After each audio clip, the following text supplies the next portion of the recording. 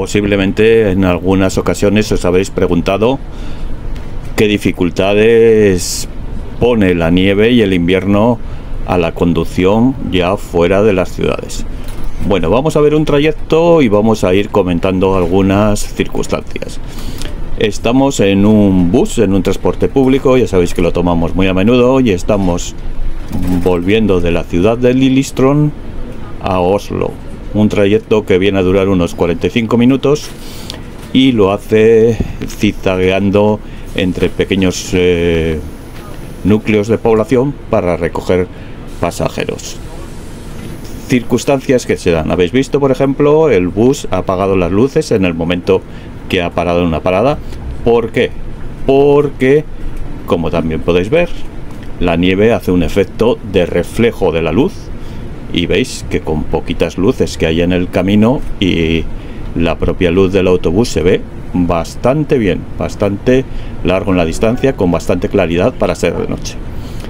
¿Cuáles son las circunstancias del invierno en Noruega?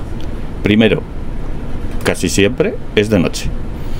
Es decir, tenemos menos de 6 horas de día en esta franja, con lo cual casi siempre se conduce de noche. Las horas que de día normalmente coinciden con las horas de trabajo de todos, se usa menos el automóvil, es decir, casi siempre tenemos que estar acostumbrados a conducir de noche. Y después, en el invierno, las precipitaciones y las bajas temperaturas hacen que la conducción tenga que ser especial.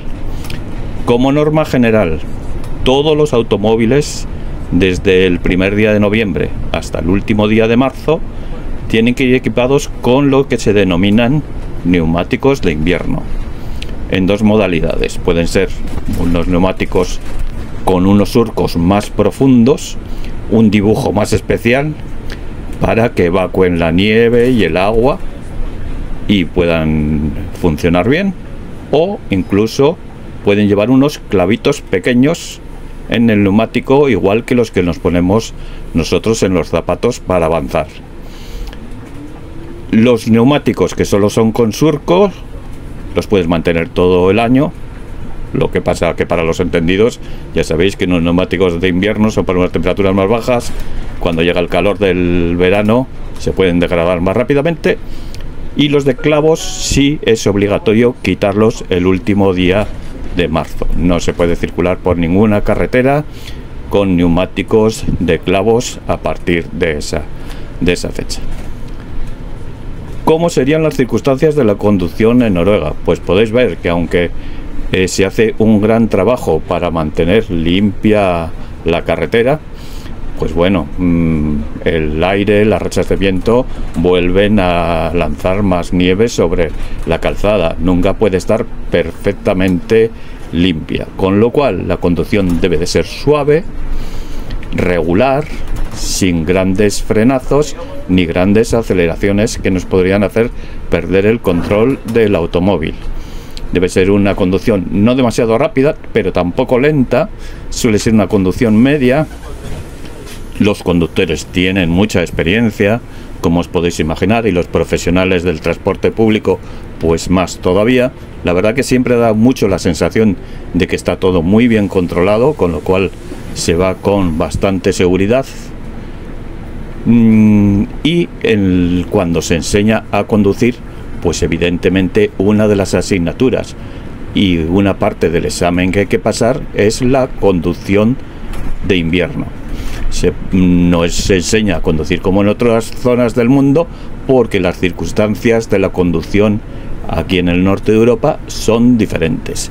Y entonces cuando te examinas de las prácticas para conducir hay una pequeña sección que se llama conducción de invierno y en la que tienes que seguir unas pautas para conducir sobre una pista resbaladiza. No siempre se suele hacer en hielo, porque en todas las épocas del año no se puede mantener esa situación, pero sí en una pista que se le haya aplicado un producto como una especie de aceite, una especie de grasa, donde la conducción debe de ser muy suave y muy controlada, con muchos trucos de conducción que te enseñan y ahí tienes que mostrar tu habilidad y haber asimilado bien toda la información que necesitas para ser un buen conductor en el invierno.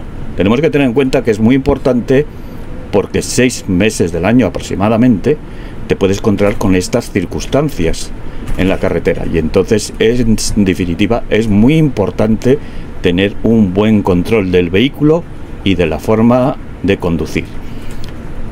Eh, como podéis ver en las imágenes, hay mucha cantidad de nieve en las orillas, se ha trabajado mucho, van a bajar mucho las temperaturas, el hielo va a ser algo muy habitual en las carreteras. En las próximas jornadas, en las próximas semanas, la nieve volverá con, con cantidad posiblemente y esta circunstancia es algo que tenemos que tener en cuenta durante muchos meses del año.